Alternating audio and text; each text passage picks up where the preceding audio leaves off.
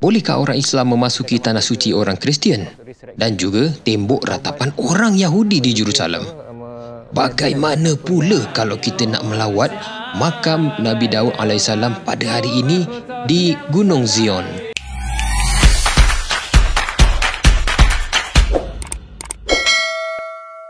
Assalamualaikum warahmatullahi wabarakatuh. Bertemu kembali dalam Rare TV kepada semua penonton-penonton dari Malaysia, Singapura, Brunei dan Indonesia. Hari ini kita masih lagi berbicara tentang bumi Palestin.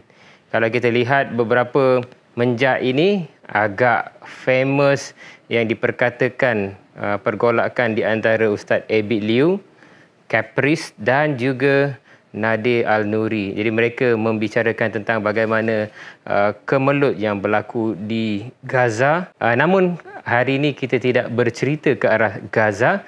Untuk pengetahuan semua, Palestin terbahagi kepada dua. Yang pertama yang dikuasai oleh Hamas. Manakala satu lagi bahagian adalah bahagian yang kita lihat di tebing barat yang banyaknya dikuasai oleh Fatah. Dan apa yang kita nak sampaikan pada hari ini ialah bagaimana cerita boleh ke orang Islam macam kita bernama Muhammad binti dan bin ini masuk ke Jerusalem, masuk ke Masjid Al-Aqsa. Of course, kita dah jawab memang boleh masuk ke Masjid Al-Aqsa.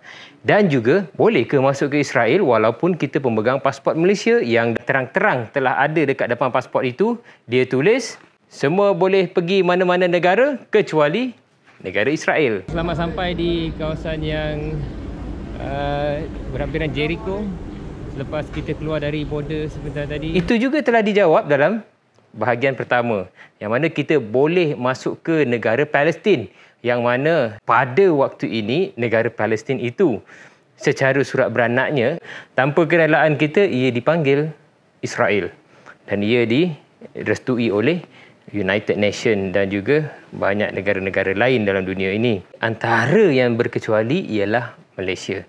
Soalan yang berikutnya, boleh ke orang Islam macam saya, macam anda yang menonton masuk ke Western Wall iaitu tempat di mana kalau kata kita nak spesifikkan lagi kita nak masuk ke dalam Wailing Wall di Western Wall. Apa tu Wailing Wall? Ingat yang dalam episod sebelum ini kita berbicara tentang Masjid Burak, dinding Masjid Burak itu dan juga dinding Masjidil Aqsa itu dindingnya adalah dinding yang diratapi oleh uh, orang-orang beragama Judaism ya berbangsa Yahudi yang mereka menjadikan tempat itu tanah suci mereka. Kalau mereka orang Yahudi, mereka tak boleh masuk ke Masjidil Aqsa kerana Masjid Al-Aqsa itu kawasan larangan bagi orang-orang yang bukan Islam. Masjidil Haram adalah tempat yang diharamkan untuk orang-orang yang bukan Islam.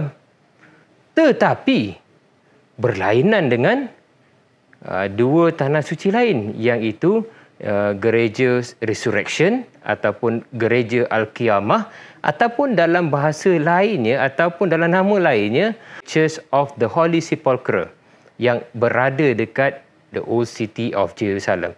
Yang itu orang Islam pun boleh masuk ke dalamnya. Bagaimana pula Wailing Wall? Dalam kemelut kehangatan orang-orang Israel, mereka tidak suka orang Islam.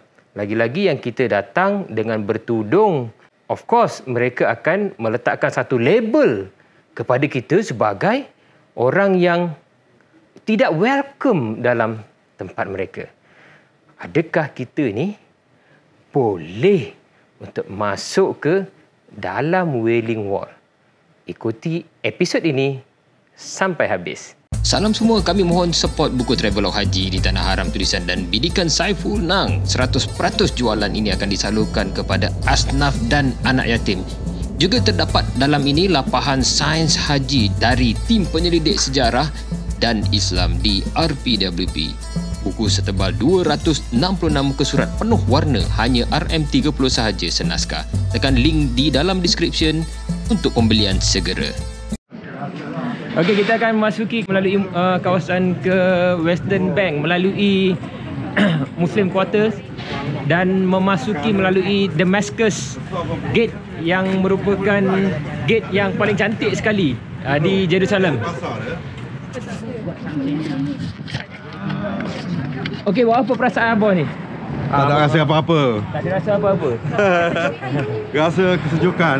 Okey, sekarang saya berada di Damascus Gate uh, yang menjadi gate kepada pintu masuk sebenarnya kepada kawasan uh, penempatan orang Islam dan ini ialah uh, peniaga-peniaga jalanan uh, dari warga Palestin sendiri bukannya Israel. Uh, di sini Israel orang Israel kaya-kaya, orang Yahudi kaya-kaya dan orang Islam uh, yang banyak di tertindas ekonominya. Dan kita masuk ke kawasan sekarang ni daripada Damascus Gate dah masuk ke kawasan penempatan orang Islam ya.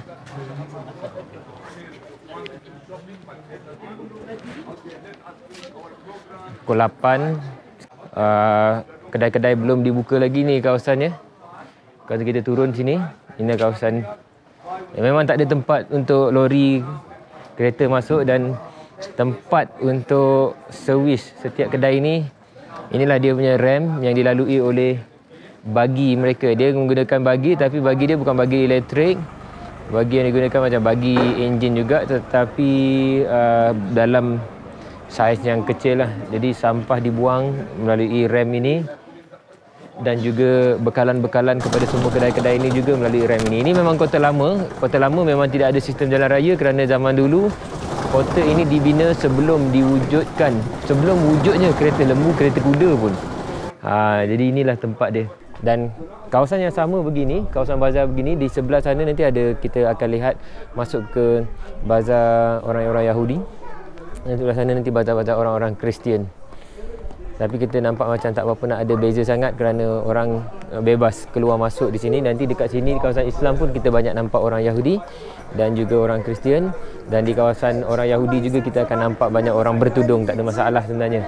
Uh, dia tidak ada separation yang mengatakan ini kawasan Yahudi ini kawasan ini. Kalau dia tak ada tembok eh dekat sini maknanya Jerusalem. Cuma dia gadgetkan kawasan tu sebagai kawasan uh, yang ni settlement untuk orang untuk orang Islam yang ni settlement untuk orang uh, bukan apa untuk orang Kristian yang uh, ni untuk orang Armenia yang ini untuk orang Yahudi. Uh, kita akan go through kan perjalanan di sini.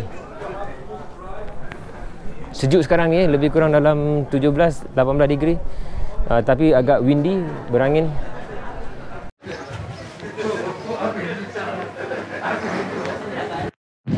Assalamualaikum. Waalaikumsalam. Uh, you sell this? Ya. Tauki rokok. Rokok. Okay. Kira-kira 12% warga Palestin uh, terlibat dengan penagihan dadah dan hampir semuanya terlibat dengan semua hampir semua isap rokok. Kalau Yahudi Yahudi ortodoks yang selalunya ada kat sini yang berkepiah uh, tu uh, itu uh, dan juga ada uh, yang pakai baju hitam macam kot hitam uh, itu Yahudi ortodoks yang ada pintal-pintal dekat sideburn tu. Ah itu Yahudi Ortodok. Yahudi Ortodok dia mempunyai antara 10 ke 16 orang anak setiapnya dan antara yang dikecualikan uh, dalam mengikuti latihan ketenteraan uh, dan servis wajib selama 3 tahun ialah dengan Yahudi Ortodok sini juga dan memang mereka masih lagi berpegang kuat kepada kitab Taurah yang asal kita masuk lagi ke dalam kawasan penempatan Islam yang masih belum dibuka lagi kedai-kedai. Sebelum kita lanjutkan kepada bahagian seterusnya, ini ialah perjalanan mengenal apa yang dahulu kita kenali dalam sejarah sebagai Kingdom of Heaven. Bagaimana pernah satu ketika dahulu semua agama utama dunia hidup aman dan damai dalam kota lama Jerusalem. Kita menelusuri perjalanan ke tempat mereka namun kemas memegang akidah Islam dalam hati. Kata orang, lihat sendiri untuk kenal siapa musuh dan siapa kawan.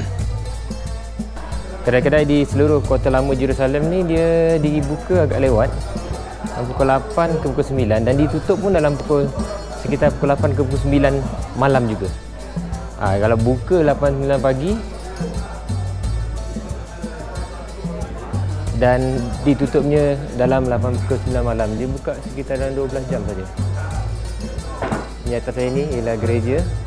Gereja Coptic Orthodox Sekarang kita berada di tanah suci orang Kristian iaitu di hadapan saya sekarang ini ialah The Holy Church of Sepulchre tempat yang dipercayai uh, dimakamkan, dikuburkan Nabi Isa alaihissalam dan asalnya sebenarnya kawasan ini ialah kawasan berbukit kuburan Nabi Isa itu sebenarnya di dalam gua tetapi kita hari ini kita lihat gua itu dah tak ada gua lagi dah tetapi dia berada di permukaan tanah sebegini dan diadakan macam satu kebuk yang orang-orang Kristian akan pergi ke situ dan mengintai melalui lubang untuk melihat pemakaman Nabi Isa alaihissalam. Itu kawasan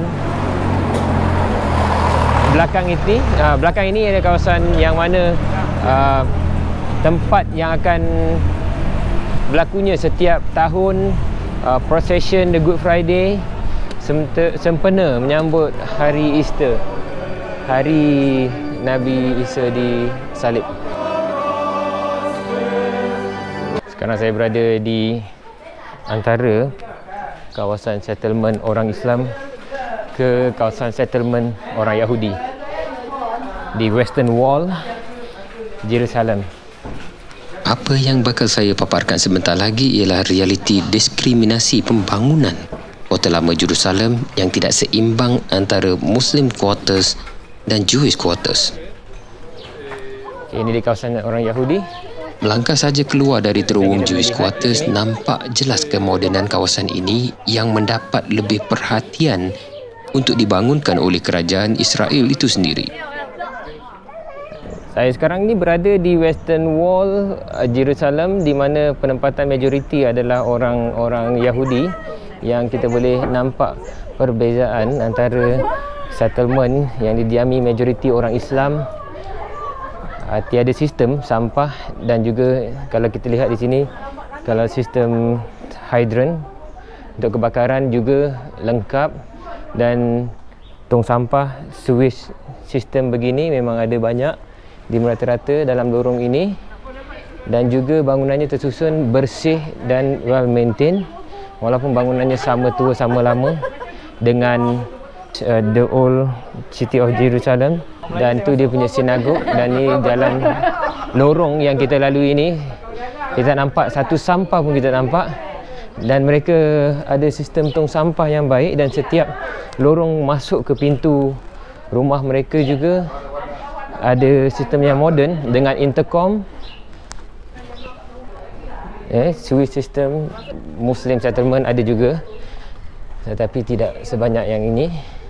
Dan kita tak nampak kawasan sini kawasannya leaking kumbahan yang berair melilih seperti mana di kawasan muslim settlement mungkin tidak seperti yang digambarkan oleh kita terdapat sebuah masjid lama yang masih terpelihara di Jewish quarters Inilah Masjid Ad-Disi. Kami teruskan perjalanan untuk keluar sebentar dari Western Wall Jerusalem melalui Jewish Quarters yang dibina melalui diskriminasi pembangunan Israel. Kita menuju ke makam Nabi Daud alaihissalam.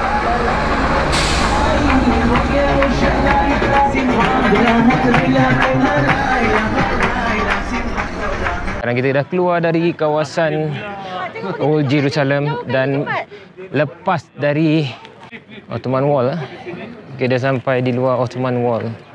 Kita akan masuki di belakang saya ini King's David Tomb ataupun uh, tempat dimakamkan Nabi Daud AS Jadi ini menjadi tempat suci bagi orang Yahudi untuk kita memasuki ke tempat ini kita perlu menghormati custom mereka dengan memakai penutup kepala topi berbeza dengan Kristian tadi untuk masuk ke dalam gereja kita kena buka cover kepala kita. Tapi sebelum masuk church kita kena buka topi dulu semua apa-apa yang menutup kepala kita kena tutup kena buka untuk menghormati tempat ibadat orang dan adab ibadat tempat ibadat orang. Pusara Nabi Daud ini terletak di atas Gunung Zion. Ia disifatkan sebagai tempat paling suci bagi penganut Judaism.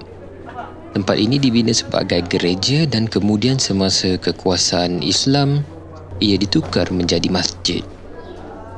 Selepas Perang Palestin dan berakhir pada tahun 1949, bendera Israel dinaikkan di atasnya dan tempat ini menjadi tempat ibadat orang Yahudi.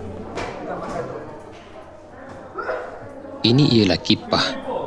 Ia diwajibkan untuk memasuki kawasan peribadatan orang-orang Yahudi. Dia dipinjamkan topi ini untuk kita menghormati tempat ini untuk masuk kalau kita bertopi dah tak payah lagi nak pakai Untuk lawatan ini kami memasuki ke ruangan lawatan untuk lelaki. Di sini kita lihat beberapa rabbai dan juga penganut agama Judaism sedang mentelaah kitab-kitab mereka.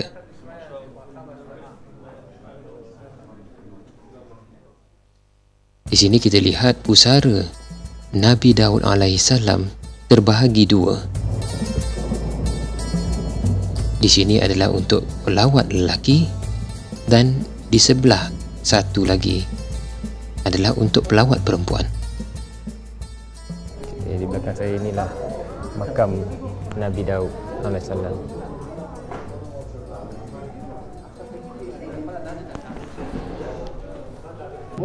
yang diambil oleh Titus ketika Jenderal Titus Romawi terkenal mengalahkan orang Yahudi pada tahun 70 Masehi. Okay, sekarang saya berada dekat kawasan perempuan dan sebelah sana adalah kawasan lelaki dan dia adakan pemisahan antara lelaki dengan perempuan di kawasan ibadat ataupun kawasan suci untuk orang-orang Yahudi.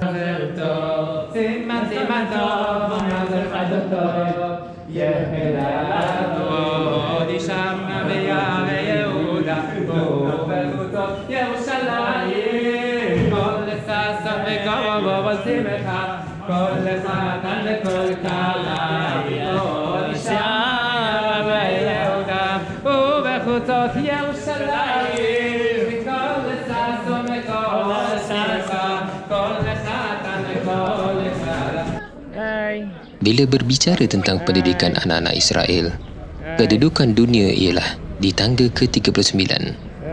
Namun keberkesanan pendidikan komunal di kibbutz menjadi rahsia sehingga kini.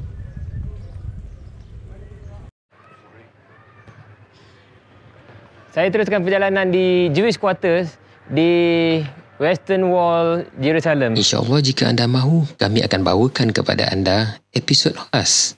Kenapa kibbutz di Israel menjadi satu sistem pendidikan komunal yang tidak perlukan ranking penarafan dunia? Di, di sini agak sombong sedikit kan bila kita menegur mereka kita bercakap dalam bahasa Inggeris dia berpura-pura untuk tidak tahu dalam bahasa Inggeris. Sekarang kita nak ke Wailing Wall. Yeah, really warm. Here we are. Okey, jom kita turun ke Western Wall. Kepala kita pergi tengok je lah. Kau takkanlah nak hantar jinjing kepala kau di situ. Depan pintu masuk ke Wailing Wall, tempat suci bagi orang agama Judaism. Kita tengok saya nak bawa kepada semua minta maaf bising sikit dekat sini kawasan construction yang berlaku sekarang ni ialah excavating tunnel yang mungkin akan membuat bypass ke Masjid Al-Aqsa terus dan kita akan datang mungkin tidak lagi akan terpisah terus sebenarnya dengan kawasan orang Yahudi dan juga orang Kristian kerana ada tunnel itu. Jadi kita akan terus ke kawasan Wailing Wall. Ini dia keadaan The Wailing Wall di sana. Di sini mereka pisahkan betul-betul lah antara lelaki dan perempuan. Untuk perempuan masuk ikut sana, lelaki masuk ikut sini dan di tengah-tengahnya ada satu separation wall yang memisahkan antara lelaki dan perempuan. Ini tempat uh, minuman mereka. Kalau kita ada air zam-zam, kalau di gereja ada holy water, mereka juga ada air. Jadi kita cuba masuk sekarang ini ke kawasan uh, tembok meratap, tembok ratapan orang Yahudi ataupun the Wailing Wall apa yang mereka lakukan mereka akan ke wall ini dan meratap di wall ini. Seperti kalau kita lihat mereka mencium wall ini sebenarnya kalau saya lihat daripada sebelah kanan dan meratap men, bertaubat menzikir apa me, menyatakan apa yang kesalahan-kesalahan mereka dan sampai mereka menangis di sini dan meratapi di wall ini begitu. ratapan di mana kita melihat bagian tembok ini yang sering kita melihat orang Yahudi meratap di sini. Apa sebenarnya yang mereka ratapi? Banyak hal yang disebut oleh para ulama. Yang pertama mereka meratapin kehancuran Masjidil Aqsa. Okay, kita tengok ini kitab-kitab mereka yang mereka baca. Tengok lihat apa dah bahasa Hebrew. Ini kontennya dalam bahasa asli Hebrew. Saya cuba cuba juga cari kalau ada yang terjemahan. Okey. Okey juga tidak ada totally dalam bahasa Hebrew. Macam mana dia orang punya daily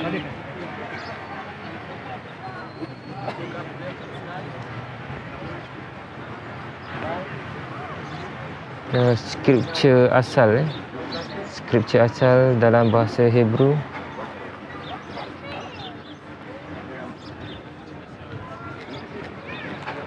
Dan yang berada di sini adalah datang dari seluruh dunia.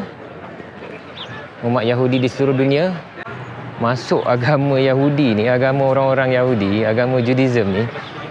Kita kena kahwin dengan orang dia baru dia ber, uh, dia didakwahkan melalui perkahwinan dan bukannya melalui uh, doktrin ya seperti Islam kita boleh dakwahkan Islam itu kepada orang lain tanpa mengira kulit rupa bangsa tapi mereka eksklusif hanya kepada bani mereka sahaja. Sebab itu mereka menolak kerasulan Nabi Muhammad sallallahu alaihi wasallam kerana Nabi Muhammad datangnya daripada bangsa Arab dan bukannya dari Bani Israel. di belakang tembok ini saja di belakang tembok ini ah inilah Masjidil Aqsa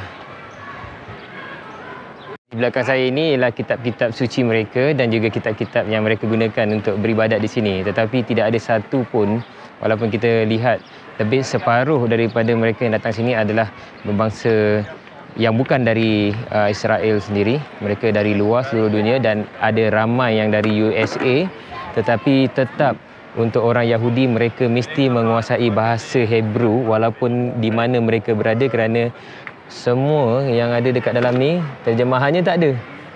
Terjemahannya tak ada. Hanya dalam skrip asal dalam Hebrew sahaja. Itulah cara mereka memelihara agama mereka ini dari bangsa-bangsa lain.